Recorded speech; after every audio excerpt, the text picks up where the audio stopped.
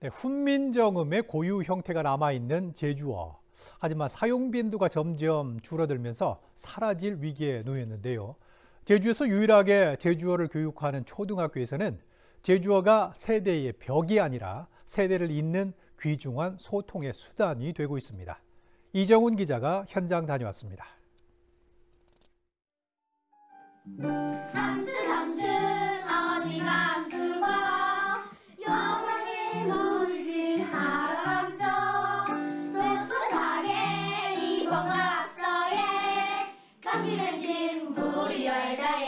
초등학교 교실에서 어린이들이 제주어로 가사를 쓴 동요를 부릅니다.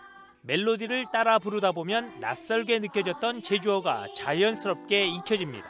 도통시가 인상 깊었어요. 왜냐하면 사람들이 이 똥을 싸면은 돼지들이 먹는다는 사실이 인상 깊었기 때문이에요.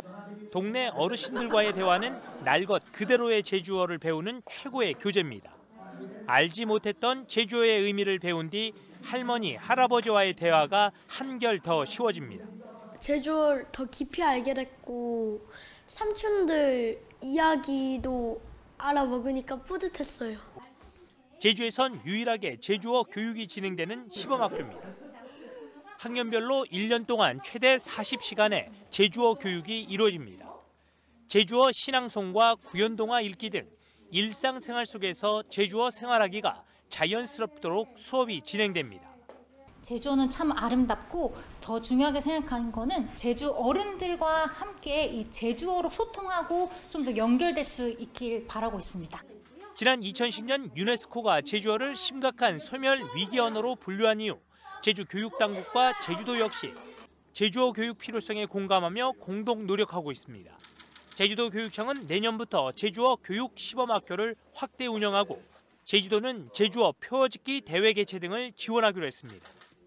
제주어를 끝까지 아이들에게 활성화시키는 그런, 학교로 시범학교를 시작하고 있는데 음, 내년에는 이제 제주 시내 동지역 또 서귀포 동지역 확대하겠습니다. 20, 30대 젊은이들이 특히 이 제주어에 대해서 관심을 많이 갖고 있고 어, 이것은 단순한 호기심이 아니라 어, 문화에 대한 이해와 어, 궁금증을 불러일으키는 아주 좋은 요소가 되고 있습니다.